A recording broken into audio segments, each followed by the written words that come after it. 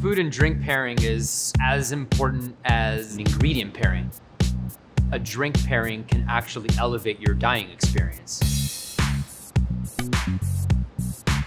At Bar Buca, we're using ingredients that are seasonal and we're changing the menu all the time. That's our philosophy. That's what we believe food is all about. Pizza pugliese is a pizza dough with potato in it. The potato feeds the yeast and it just amplifies it. It's almost like they're meant to be together. I went to the south of Italy to learn how to make it. It's surprisingly light and it's essentially kind of like a pan pizza with virgin mozzarella that hasn't been stretched yet. Wonderful cherry tomatoes. Hit it with olive oil. Sprinkle some fresh herbs over top of it.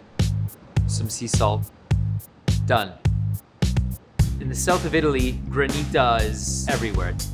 Essentially what it is is shaved ice. The Grey Goose adds a well-rounded flavor profile.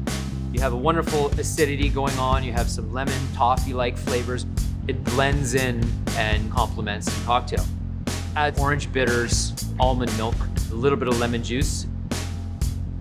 Shake it. Add Prosecco. And finish it with some citrus zest. I love the flavorful forward beverage and this pairing takes me back to actually being in Puglia. The pizza, it's buttery and it's crispy, but then you have this wonderful, refreshing, yet still intense granita. If you had a big day and you want to get away after work, there's no better way than to have a freshly baked pizza and an awesome cocktail on a patio. How does it get better than that?